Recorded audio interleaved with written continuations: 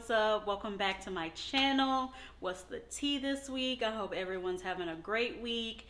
If you hear it start raining i can't help that it's been raining for like 45 years here in texas. I just can't even deal with the weather anymore. So i apologize for that but hopefully it doesn't because i've been waiting to film because it's literally been a downpour each day.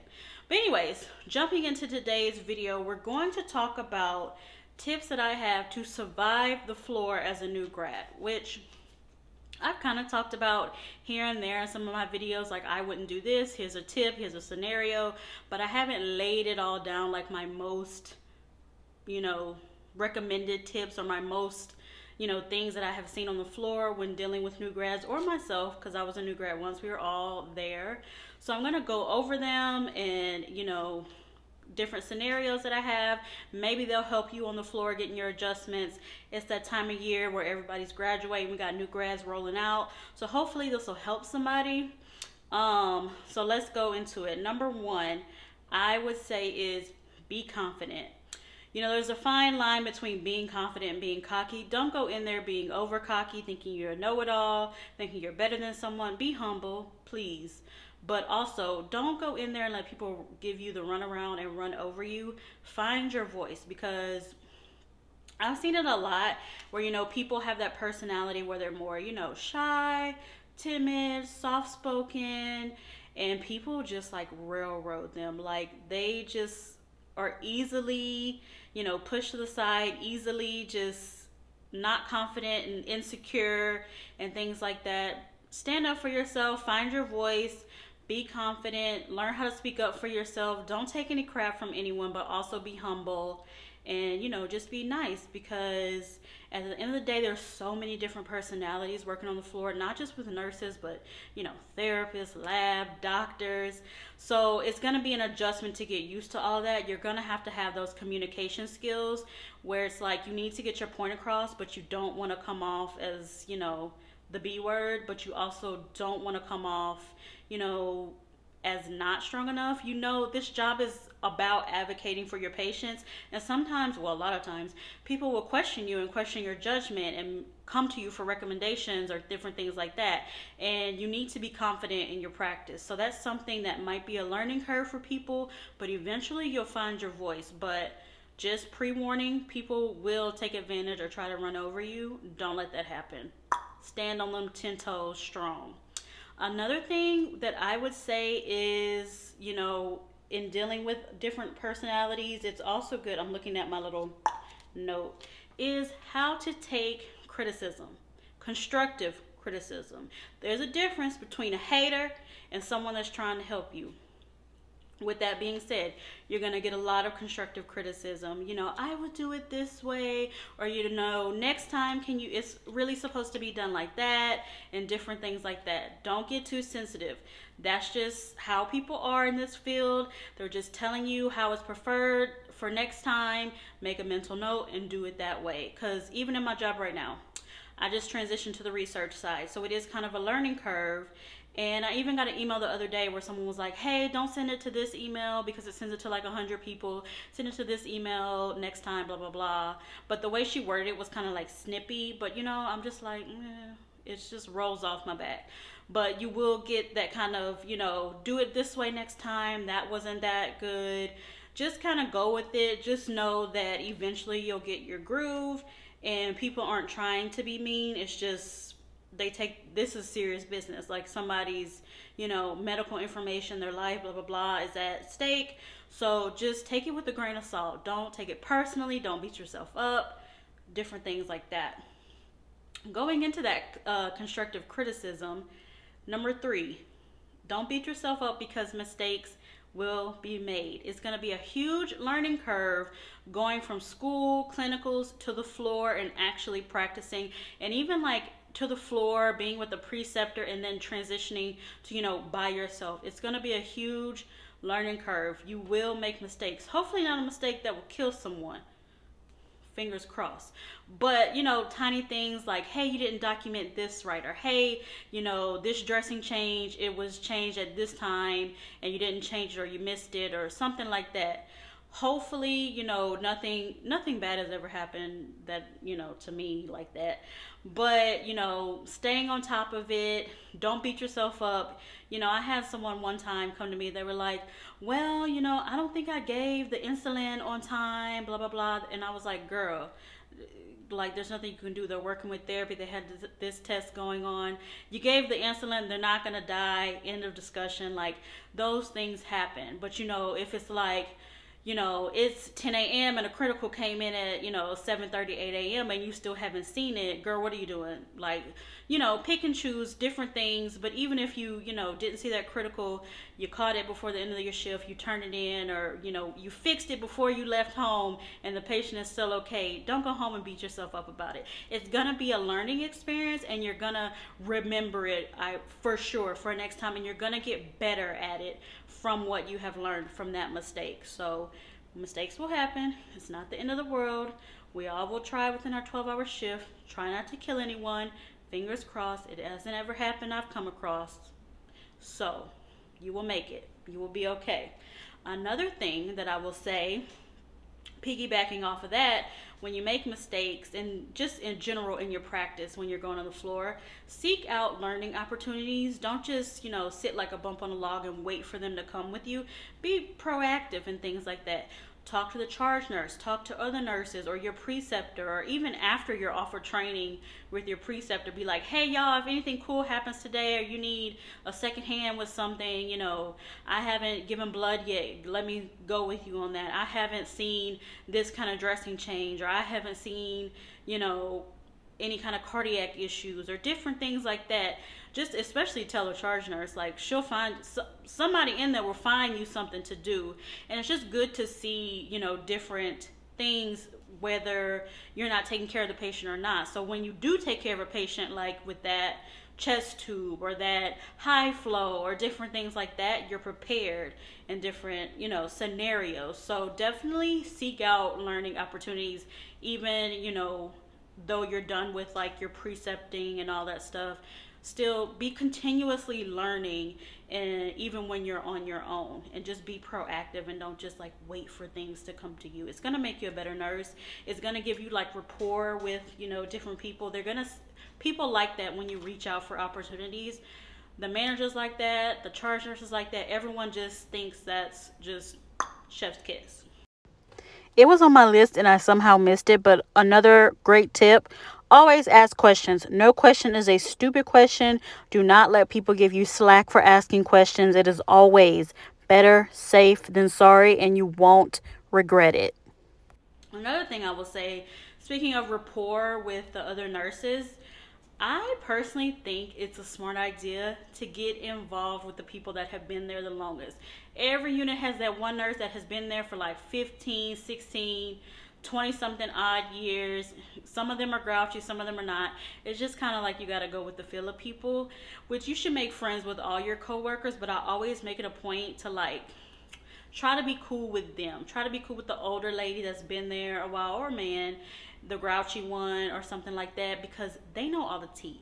They know where everything is. They will have your back. If you get in with them, they will, period. That's somebody you want to have on your side. At my old job, I was like A1 with the clerk that had been there for like years. She knew everything. She was a nurse, but she knew she was my right hand man when things would go down when I started charging by myself. She knew every number, where to go, every contact, what to do, this and that, period. She was my bestie. And a lot of people, well, not a lot of people, some people didn't get along with her, found her to be abrasive, blah, blah, blah. That was my right hand man, period. And one of the older nurses, like, she was charging and, like, she trained me and stuff. So I was able to, you know, grow with the help of them. Like, I couldn't do it without them. You know, those kind of relationships are very important to have when I say especially if you're new anywhere, but especially if you're a new grad. Having someone you feel, you know, that you can trust on that has been there for years, that has so much knowledge, it's just perfect. It's just great. So I would make it a point, you know, to just get in get in with the right people. Stay away from the troublemakers. Try to find your align yourself with people that are good at the job. You don't want to be aligned with, you know, the lazy nurse that's always late different things, no matter how cool they are, no matter how cool they are, or the problematic people that don't want to work, Get yourself with good people, especially the people that's been there a while, that's good, that knows how to take charge. Get with them. Another thing that I will say a lot of this is my number one thing I say new grads have a problem with is delegation. Period. A because they're new. They don't know anybody, so why would they delegate things to do? B they just want to handle everything themselves because A they don't want to miss out on anything. They feel like they're going to miss out on anything. And then number 3 they just don't even think about it. Like it just over their over their head.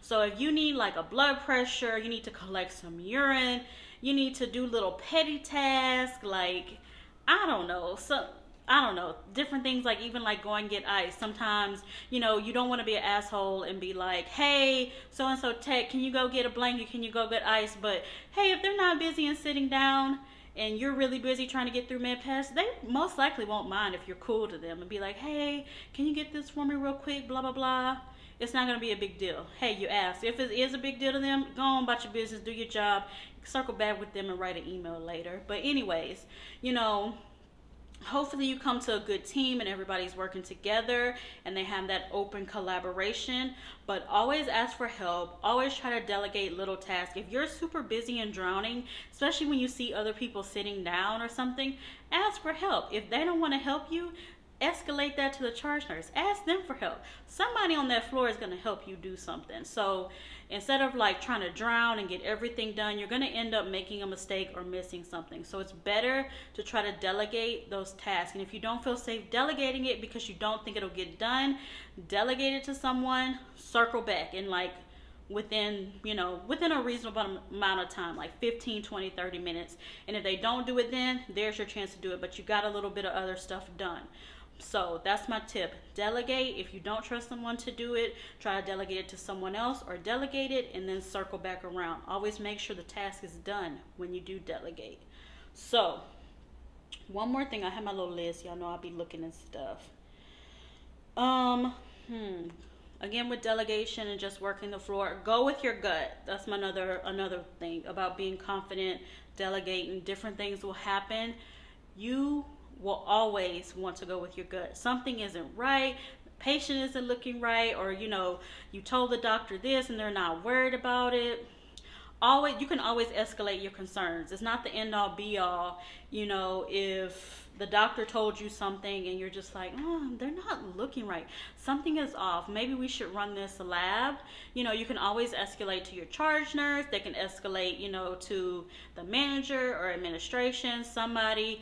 And, you know, at the end of the day, if the doctor does doesn't say that they want to give you the test, you can always document that you saw this, you expressed it, cover yourself because you know next shift you know you saw somebody they weren't feeling right and all of a sudden they threw a clot the next shift they're gonna be like, well, what was you doing? You was here all day. They wasn't, you know, they wasn't doing anything. So that would be my word of advice. Try to, you know, really stand up for your patient and advocate. But in some cases, you know, if you feel something in your gut still isn't wrong and you've done everything you can, just document up to your best abilities. But I've done that before, like had this gut feeling that something was wrong and I just kept bothering this doctor and they finally just gave me what I wanted and of course something was wrong. So they'll fold eventually. You'll get you'll get there. So just don't take it to heart. You'll have those days where it's just gonna be like you feel like something is wrong, no one will believe you. Just, you know, ask your charge nurse, ask your backup people for help, get a second opinion, talk to the doctor. Hopefully it'll work out. But always go with your gut. Remember, I told a couple weeks ago I went with my gut. Not a couple weeks ago. A couple weeks ago, I posted a video about I gave some patients some medication and something in my gut, even though I had did the 30 minute check on them, something told me to go back again and check on them. And boom, she was half dead in the bed because she was taking pills. Period. Go with your gut. Another thing that I will say to a lot of new grads struggle with is like time away from the job and like mental the mental toll it can take on you especially like this past year it's just been like rough to say the least but a lot of new grads i feel like and it kind of depends on the personality type too they take work home with them and you just have to shut it off you're here for 12 hours or whatever. Once you go home, once you clock out, let that go. Please let it go because you can't be worrying about everything you did at work because you're not gonna, you need those days to recharge. This is a very hard job. Nursing in general is a hard job. And I have this this thing that kind of bothers me about you know i feel like the newer generation of nurses i don't know how it was years ago because i wasn't like really worried about anything but i feel like everyone in nursing school wants to go to like icu or er they have that in their head they want to go to icu er or like you know the mother baby people but this excludes them but you need to realize that are you prepared to deal with the amount of stress in these high critical situations you know ER, you never know what you're gonna get. You can have slow lulls and then it'd be like boom, trauma, this. It's just you just never know with ER. But especially ICU, are you prepared to have these conversations and interactions with these family members? Are you prepared to have the death talks, to see dead bodies, to clean people up, to have these hard conversations of your loved one is not going to wake up, you know, what would you like to do? Are you able to be there and witness all of that? It is very traumatic. It is very hard on you. You know, you will have days where you just feel like you can't handle it. And, you know, taking that time off and away from the floor, you need it. It is so important for your mental health not to carry that baggage that happens on the floor or at work with you home. You know, I had a conversation with, you know, a lot of new grads, but one in particular sticks out. You know, one new grad was worried, like, I didn't give this medication on time. I don't know what it was. I think it was an antibiotic. And I was like, You're running around with like seven patients and everyone is kept alive. Yeah, they missed that dose of antibiotics, but you got it to them before your shift was up. Would you rather that happen or would you rather, you know, your patient in this room like fall and crack their head open and then they get a, a brain bleed and then they die? You have to look at it that way. And you can't take all this home. Like, it shouldn't be 3 o'clock in the morning and you're texting thinking about this. Like, oh my God, am I going to get in trouble? Or I'm just so worried about the patient, blah, blah, blah. Like, what if this happened? You can't know. Once you clock out, go home. Go home. Do whatever you need to do. Journal, meditate, exercise, watch a movie, drink in moderation we all like a good drink, girl. I do too. Like like happy hour and cocktails. Um, you know, whatever you need to do to release. Go on a little Amazon shopping, you know, spree. All within moderation. Treat yourself. Go out with friends. Do something to get your mind, whatever you need to do to get your mind off of work, do it because you will get burnout. And, you know, this past year we saw a lot of people battling mental health and burnout because they just really people could not deal with the amount of death, stress, all of that that goes into it. People really saw, I think mainstream saw what nurses and healthcare workers deal with. So I think they have that kind of idea a little bit better. But recently in the past years, I've seen everybody, I want to go to ER. I want to go to ICU. I mean, the ICU, everyone wants to be in the ICU. But baby, you are not meant for the ICU and it's just something to be aware of. Even with med surg, med surg, baby, that is just like a different ball game. You know, it really is. You are down in the trenches. Like it is. You know, you have five, six, seven, eight patients all needing your attention. People are way more sick these days. You know, you're it's going to take a toll on you. So if you don't have that capability of putting, you know, your work aside once you clock out, this is not the field for you. You need to work on that. You need to go ahead and get it done. Now, I'm warning you because you will not make it in this field. You'll make it, but you won't be mentally strong. And you need to be mentally strong to handle this because at the end of the day, no matter what you have going on, you need to put your game face on, go cry in the med room for a couple minutes, and then come out. Take your break and then come out. You can't be getting all that emotional and letting you have to put your emotions and everything to the back to make this job work because at the end of the day, you need to be quick and on it for these patients. So, to wrap it up, those are kind of like my. Well, I have one more tip also have all your supplies. Don't come to work any kind of way. This is a pet peeve for me. You know i've been guilty when i had like a bad day like not i left my pencil bag or something somewhere. But have you your pens have your pencil have your marker have your scissors always have flushes on you. I don't care what anyone says, unless you know those people that we don't talk about. I'm gonna put their name up here. Unless they're in the building, you know, you're not supposed to have anything on you. I don't know what they expect you to do. Keep running to different rooms to get tape and um, flushes. I don't think so. But anyways, always have your flushes in your pocket. Put some in your coat pocket. Put some on your wow if you have a wow. Put some in the room at the beginning of the shift. Put them everywhere. Cause I, it's literally my pet peeve where people pop their head out of the room. Can I have a flush? Can I have a flush? Do you have a flush? And it'll be the same ones multiple times in a row, each room. Girl, if you don't go get you some flushes. So always have your supplies, have your flushes, have your tape, your scissors. I have scissors that hook to me, my marker in my pocket for dressing changes. Because when I don't have it, it's just a hot mess. So always have that. Put in your locker, you know, some extra deodorant, a hair tie for the females or guys if you have long hair. Put your extra pair of scrubs in there, some extra shoes, Get you a water bottle, stay hydrated. Always take your break. I don't care what you have going on. You can at least take a five, ten minute break, chug your protein drink, chug you something. I don't care. Do it because it's gonna, at the end of the day, you got to take care of you to take care of these patients. So get your charge nurse, do whatever you need to do to get you your breaks, but also be prepared for your shift. Come in with all your supplies, ready to take report, period. Um, those are my top tips, I think. Pretty much. I've said it before in other videos. I think it's understood that you need to like look up your patient before report. Always lay eyes on your patient during a bedside or shift report go make sure you know their iv is still in and good. If they have oxygen is still good. SCDs check your patient out. Make sure they're alive and okay.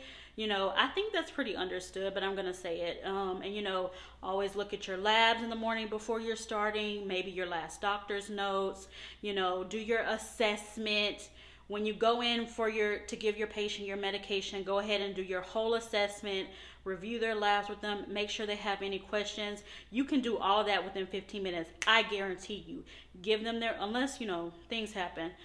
Dressing changes or you know someone's gonna take a while with your peg feeders. I can go into that a little bit more. Um your flow of the day.